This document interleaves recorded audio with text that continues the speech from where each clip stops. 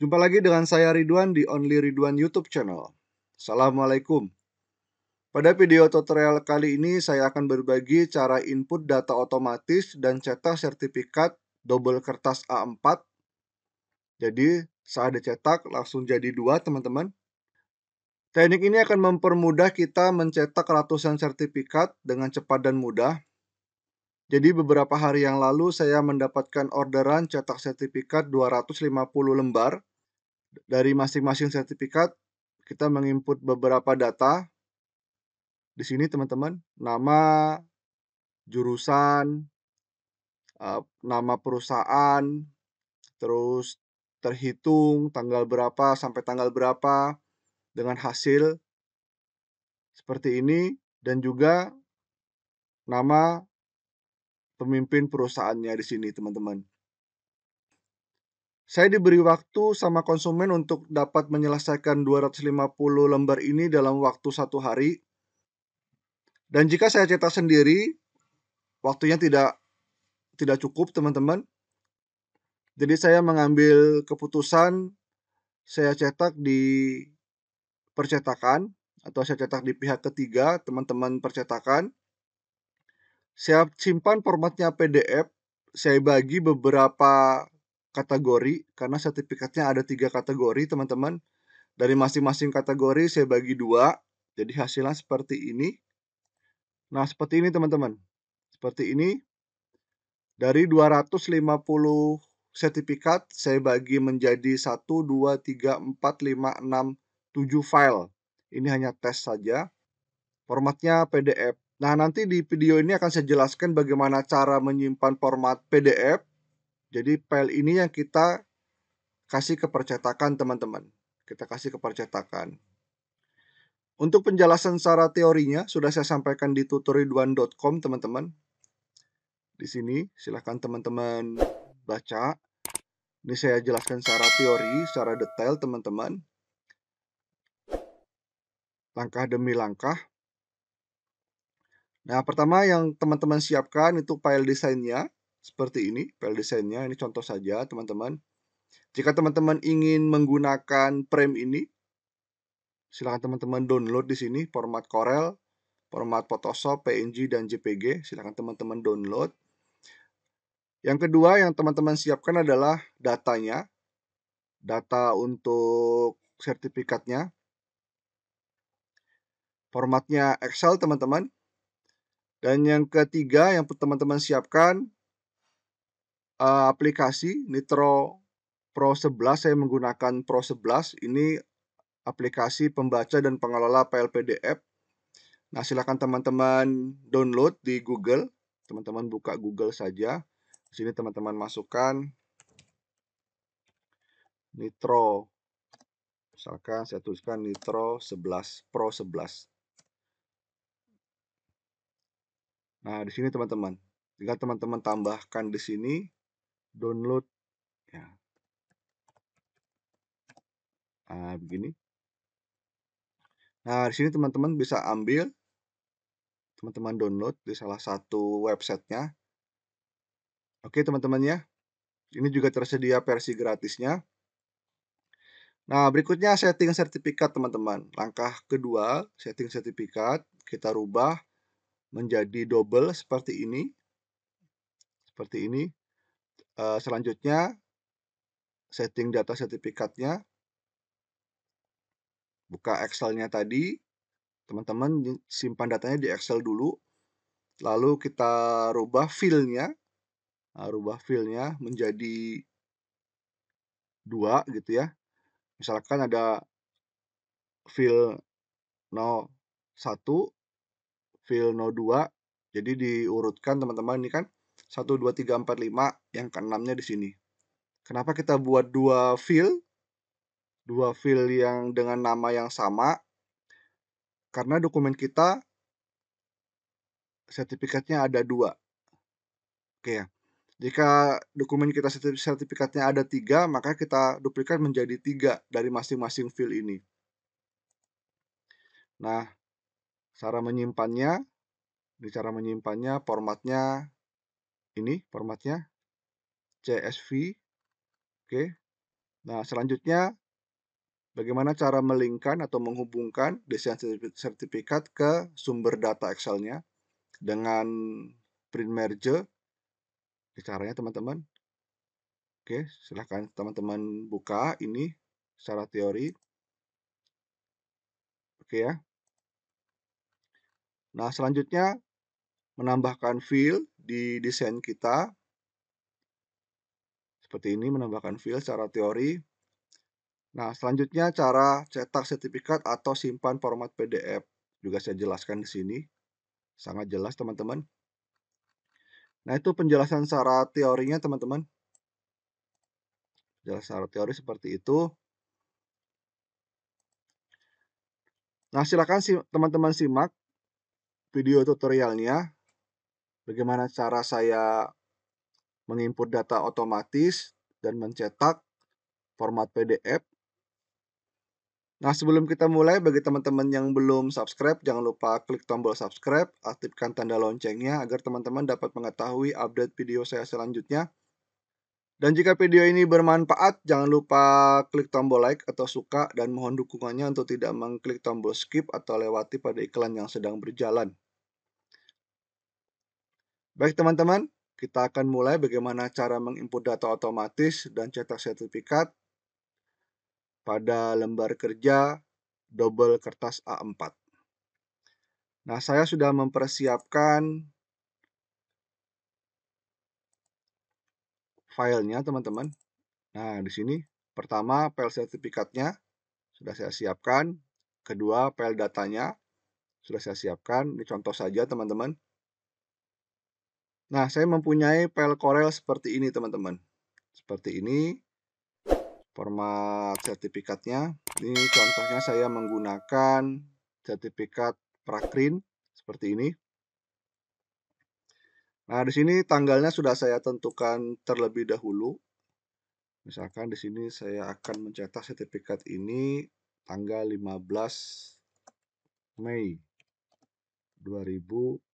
2019 misalkan ini contoh saja.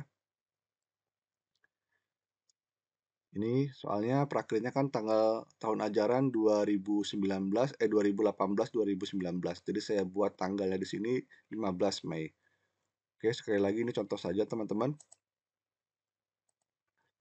Nah, berikutnya kita buat lembar kerja baru. Lembar kerja baru teman-teman. Tanda plus di sini saja. Karena sertifikat ini saya cetak di percetakan atau digital printing, kertas yang digunakan, kertas di sana standarnya teman-teman, kita masukkan di sini. Di sini kita masukkan kertasnya 33 kali 48 cm, teman-teman. Yang lainnya tidak perlu dirubah, settingan seperti ini, CMYK 300 dpi, saya oke.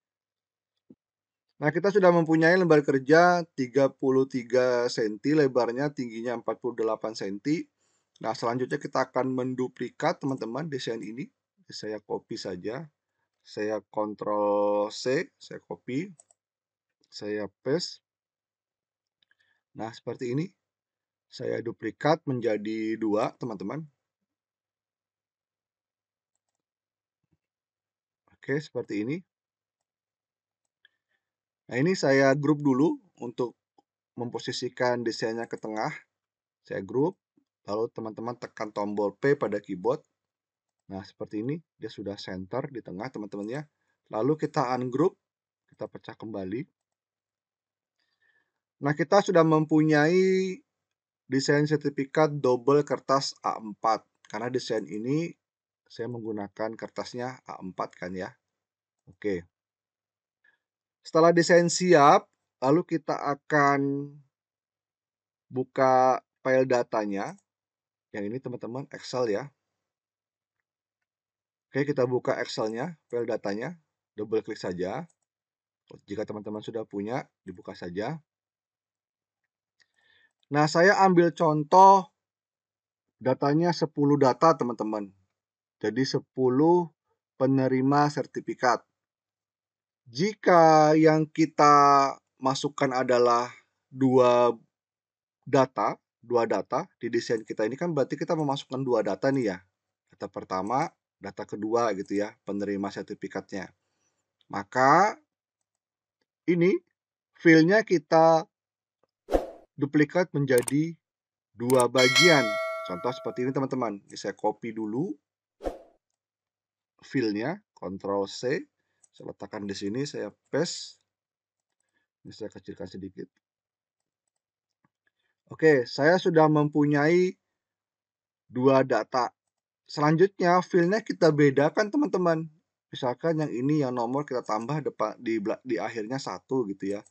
01 siswa 1 jurusan 1 perusahaan 1 terhitung 1 hasil 1 pimpinan 1 gitu ya.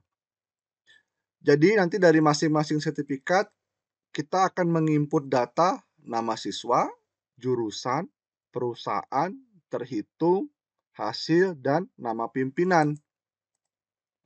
Begitu teman-teman. Nah, selanjutnya di sini, di sini kita bedakan dua. Nomor dua, siswa dua, jurusan dua, perusahaan dua, terhitung dua, hasil dua, pimpinan dua. Nah, selanjutnya data ini kita bagi menjadi dua bagian. Berarti saya cut ya di sini ya. Di sini dari 6. Sini saya kontrol X teman-teman, kontrol X. Saya pindahkan ke sini. Saya paste. Ini saya double klik di sini biar melebar sesuai dengan jumlah datanya atau lebar datanya.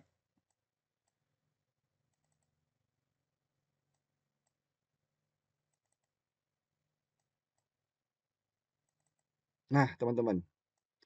Jadi seperti ini. Penerima 1, 2, 3, 4, 5. Nah, 6-nya di sini. 6, 7, 8, 9, 10. Nah, misalkan teman-teman menerima orderan cetak sertifikat itu ada 100 lembar atau 100 penerima sertifikatnya, maka di sini dibuatnya 1 sampai 50. Nah, 51 sampai 100-nya di sini teman-teman, dibagi dua. Dibagi dua. Paham ya? Jika 200 penerimanya, maka di sini 1 sampai 100. Di sini 101 sampai 200. Jadi seperti itu teman-teman, dibagi dua. Agar file ini dapat terbaca atau dapat dihubungkan dengan Corel, desain sertifikat kita, maka file ini disimpan dalam format CSV. Kita simpan ya teman-teman ya. Pilih menu file, lalu teman-teman pilih save as. Save as. Saya letakkan di sini saja. Cetak sertifikat di sini. Lalu saya buat folder baru data sertifikat. Oke. Saya double klik di sini. Nah, di sini save as tipenya saya rubah menjadi CSV, koma delimited. Lalu teman-teman klik tombol save.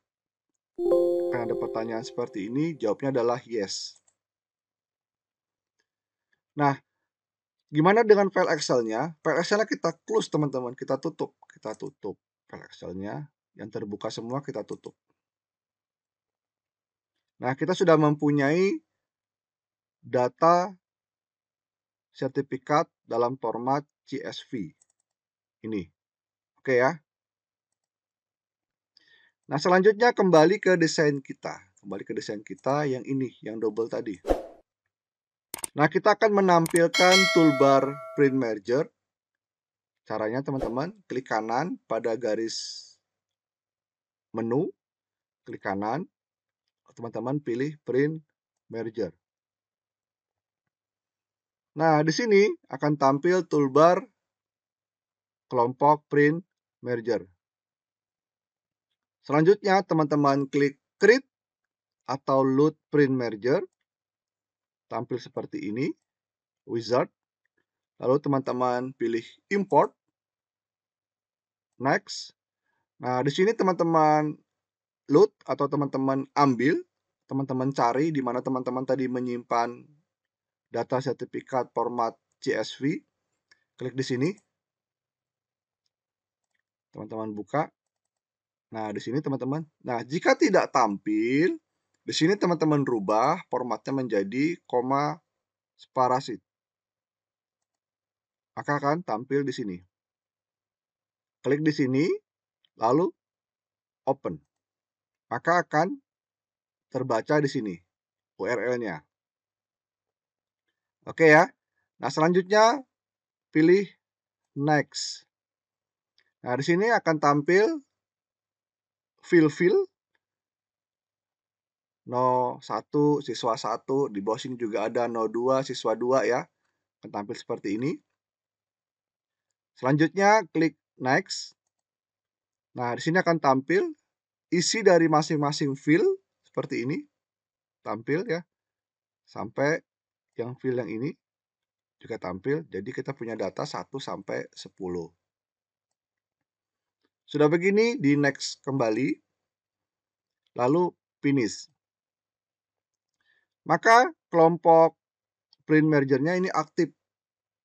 Tadi kan awalnya tidak aktif ya. Nah, nah selanjutnya kita akan menambahkan fill pada desain kita. Saya zoom di sini, teman-teman. Seperti ini. Nah, bagaimana cara menambahkannya agar tidak terubah fontnya dan warnanya? Teman-teman harus blok dulu begini. Nah, blok seperti ini teman-teman bisa atur sebelumnya jenis fontnya, ukuran fontnya, perataannya, kan rata tengah nih, rata tengah di sini. Dan warnanya. Oke, setelah kita blok seperti ini teman-teman, kita blok. Nah, teman-teman ke sini ke kelompok print merger di sini pilihnya adalah siswa. Kita masukkan siswa untuk nama-nama siswa yang menerima sertifikat ini. Sudah kita pilih siswa, ini kita ya pilih siswa yang satu dulu ya, fill yang satu ya teman-teman ya. Karena ini desain sertifikat yang pertama. Setelah kita pilih fillnya siswa, lalu kita klik tombol Insert, Print, Merger, Fill. Maka berubah menjadi seperti ini teman-teman. Selanjutnya, yang jurusan kita blok, kita rubah di sini filenya jurusan, insert, print merger. Selanjutnya, ini nama perusahaan, kita pilih di sini perusahaan satu, insert, print, merger.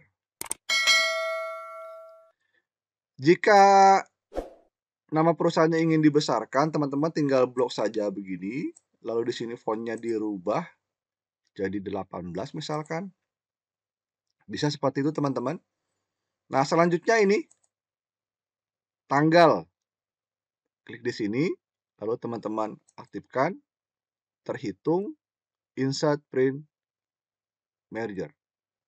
Di sini nanti akan terisi panjang. Di sini teman-teman sesuai dengan data di Excel-nya. Lalu hasil. Dengan hasil, kita pilih di sini teman-teman. Hasil, insert. Lalu kita besarkan untuk hasil. Kita ganti fontnya menjadi 16 misalkan. Untuk yang hasil. Lalu nama perusahaan. Nama perusahaan. Mohon maaf, nama pimpinan. Kita klik di sini, pimpinan, insert. Jadi di setiap sertifikat kita menginput 1, 2, 3, 4, 5, 6 data. 6 data. Kalau kita lakukan secara manual, kita masukkan satu per satu, sangat lama sekali teman-teman ya. Nah ini kita buat otomatis. Jadi saat cetak, saat simpan PDF, nama-nama data-data ini sudah terisi secara otomatis sesuai data yang ada di file Excel yang telah kita buat di awal tadi. Berikutnya sertifikat yang kedua. Di sini saya blok. Saya pilih di sini siswa 2. Insert. Ini jurusan? Jurusan 2, insert, perusahaan, pilih perusahaan, insert. Nah, di sini bisa teman-teman besarkan sesuaikan dengan yang pertama tadi, ini jadi 18. Tanggal, kita pilih, terhitungnya, insert, hasil, kita pilih hasil 2, insert, kita blok lagi teman-teman. Lalu kita besarkan jadi 16 sesuaikan dengan yang pertama tadi. Nama pimpinan kita blok. Nama pimpinan 2 insert. Nah, selesai teman-teman. Kita sudah menginput fill semua sudah ya teman-teman ya. Nah, seperti ini. Nah, langkah selanjutnya proses cetak. Nah, jika teman-teman mempunyai printer, teman-teman bisa cetak sendiri. Tapi ini saya simpan format PDF, saya cetak di uh, percetakan, digital printing. Saya menggunakan kertas BC untuk mempermudah memasukkan tanda tangan. Oke, teman-teman ya. Nah, selanjutnya proses cetak atau simpan PDF. Ini teman-teman, pilihnya ini. Perform Print Merger. Klik saja. Nah, jika teman-teman ingin mencetak, teman-teman langsung masukkan ini, jenis printernya, jenis printernya, jika teman-teman ingin mencetak sendiri. Nah, karena saya mau simpan formatnya PDF, saya pilihnya ini teman-teman, Nitro. Nah, jika teman-teman sudah menginstal aplikasi Nitro, maka otomatis akan terekam di sini. Nah, terekam di sini. Saya pilih ini, Nitro PDF Creator. Nah, selanjutnya saya menentukan kertas di sini teman-teman, jenis kertasnya. Karena tadi desain kita kan ukurannya 33 kali 48 cm. Saya klik preference Lalu di sini saya pilih tab pack. Pada pack side ini tidak ada ukuran ini teman-teman 33 kali 48 cm tidak ada. Jadi harus kita rekam dulu teman-teman. Merekamnya di sini teman-teman. Di custom form. Nah, teman-teman klik tombol add. Nah, di sini teman-teman bisa mengetikkan namanya nama jenis kertasnya biasanya kan A4 letter gitu ya. Ini kita masukkan saja namanya 33 kali 48 gitu ya. Unitnya saya rubah ke mili. Nah, saya rubah ke mili. Nah, di sini lebarnya 33 itu kalau di mili 330 teman-teman. Ditambahin 01 di belakangnya. Tingginya berarti 480. Kalau dia inci berarti 13 inci sama tingginya 18,9 inci. Lalu saya oke. Okay. Nah, di sini sudah terekam. Jenis kertasnya 33 kali 48 cm. Lalu saya oke. Okay. Nah, kembali ke sini pack size-nya ini sudah ada di teman-teman di atas biasanya. Nah, ini, teman-teman pilihnya ini. Nah, maka teman-teman nanti akan menyimpan format PDF dengan ukuran 33 kali 48 cm. Selanjutnya, klik OK. Sudah ya, lalu teman-teman klik tombol OK untuk proses penyimpanan format PDF. Oke. Nah, di sini teman-teman diminta untuk menyimpan masukkan nama file teman-teman. Saya simpan di sini saja. Saya simpan, saya buat folder baru saja. Saya beri nama PDF. Jangan gitu ya. Nah, di sini saya beri nama sertifikat prakrin gitu ya. Saya nya PDF, lalu saya simpan. Klik tombol save. Oke. Maka proses menjadikan file PDF dijalankan. Tunggu sebentar teman-teman ya. Oke, sudah jadi teman-teman nih. Saya kecilkan. Nah ini teman-teman, kita sudah mempunyai file PDF dengan jumlah halaman 5 halaman. Dari masing-masing halaman ada dua sertifikat. Seperti ini teman-teman, sudah terisi datanya. Ini kan namanya, namanya, terus jurusannya, perusahaannya, terus terhitung tanggalnya ini. Hasilnya sangat baik, baik atau sangat baik. Nama pimpinannya di sini berbeda ya, teman-teman ya. Berbeda ya. Ini halaman pertama. Di kedua. Di yang ketiga. Ini yang keempat. Ini yang kelima. Sudah terisi sesuai dengan data yang kita siapkan tadi, teman-teman. Nah, file inilah yang dikirim ke percetakan untuk dicetak, teman-teman karena desain kita ini kertas A4, maka ya pinggir-pinggir ini harus dipotong teman-teman. Harus dipotong, dipotong menjadi dua. Nah untuk mempermudah pemotongannya, ya teman-teman bisa menggunakan jasa pemotongan dengan menggunakan mesin potong untuk lebih cepat dan mudah. Ya bagi-bagi rezeki ya teman-teman ya. Hasilnya juga bagus kok kalau dipotongkan di jasa pemotongan. Ya jika teman-teman ingin memotong sendiri ya harus pelan-pelan motong ya teman-teman. Jadi seperti itu. Nah jadi seperti itu teman-teman nih hasil PDF-nya yang siap cetak. Sekali lagi kenapa saya menggunakan kertas 33 kali 48 cm. Jadi itu adalah kertas standar yang ada di percetakan teman-teman. Lebarnya seperti itu. Nah, kita menggunakan kertas 33 kali 48 cm. Nah itulah teman-teman tutorial singkat bagaimana cara mencetak sertifikat double kertas A4 dengan cepat dan mudah.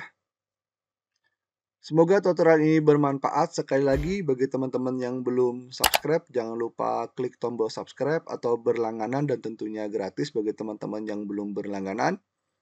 Jumpa lagi di video tutorial saya selanjutnya. Tetap semangat, tetap jaga kesehatan diri dan keluarga, dan sukses selalu untuk Anda. Assalamualaikum.